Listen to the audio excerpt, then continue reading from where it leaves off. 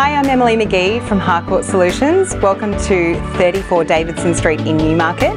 This impeccably built family home offers a wealth of entertaining options and you're right near the city. Come on through and have a look.